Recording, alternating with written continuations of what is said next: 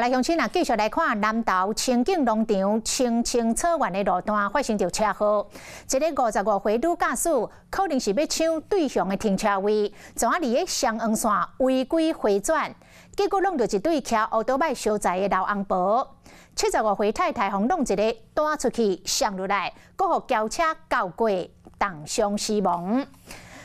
Hello，我是易景，想要抢先掌握最及时的新闻资讯吗？赶快订阅、按赞、开启小铃铛，锁定华视新闻的 YouTube 频道。